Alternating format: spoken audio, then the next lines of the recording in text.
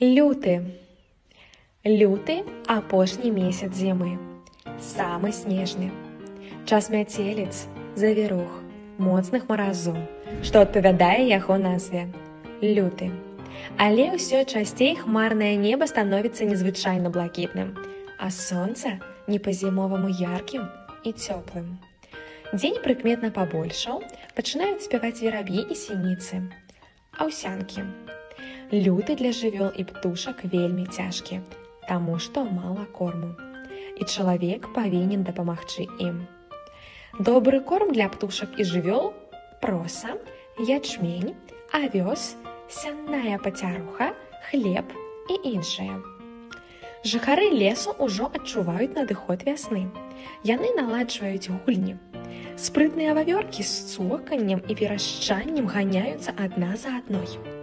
Зайцы спабор